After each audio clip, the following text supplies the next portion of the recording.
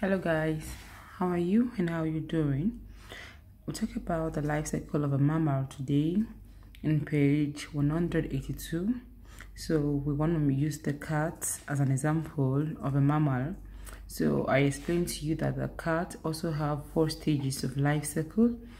Mammal also have four stages of life cycle. So a cat also have four stages of a life cycle.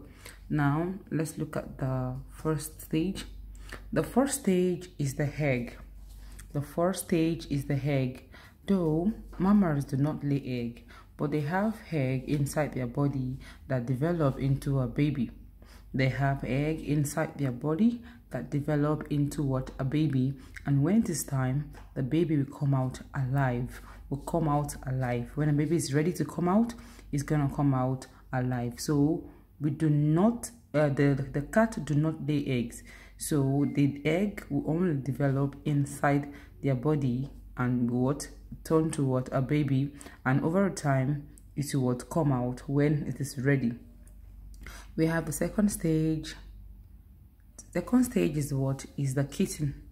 Is the kitten and the young uh, cat is called kitten. The young cat is called kitten. The young cat is called kitten. The young cat is called kitten, okay? The mother cat makes milk and give the kid. The kitten milk to drink. So the kitten always would have to have milk to drink. So the mother has to what feed the kitten with milk. We already discussed this lesson today and just want you to understand better. Now the third stage, we have the growing kitten, the growing kitten, which is called the growth stage. The growth stage. This is the stage where the young cat begins to grow bigger and bigger. Can you see? There is a difference between the what the kitten stage and the growth stage. This is when the kitten or the kitten begin to grow bigger and what and bigger and the mother cat will always want to take care of them. They are still under the care of their mother. Now let's look at the last stage, which is what the full adult cat. The full adult cat. Okay, so this is the stage where the cat can also reproduce. And what do we mean by reproduce? When the cat is able to what to give birth again. Okay, to give birth to have his own what baby. Don't forget that in the kitten stage, the cat cannot give birth. Even in the growing stage, it cannot still give birth. It has to get to the what? To the adult stage before it can what? Give birth. But they have one similarities from the kitten to the adult stage. They have one similarities and the similarity is that what? They both have fur on their body. They have legs, the eyes are same, the ears are same, okay? So these are the similarities. What make them to be same? is what is the fur on their body, their legs, and their body shape.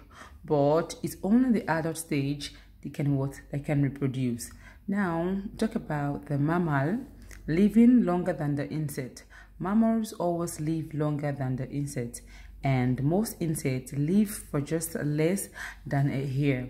Most insects live for less than a year. Not all, most, majority, more, more insects live less than a year. And the length of an animal's life is called lifespan. The length of an animal's life is called what? Lifespan. Length means how far can animals live. So the length of an animal's life is called what? Lifespan. Okay, I hope you enjoyed the lesson. If you have more questions to ask me, you can send a message to me on WhatsApp. I will answer your question. Have a nice day.